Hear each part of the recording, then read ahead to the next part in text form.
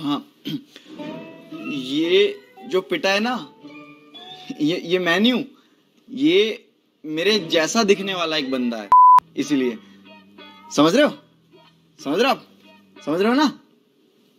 बस, यही है।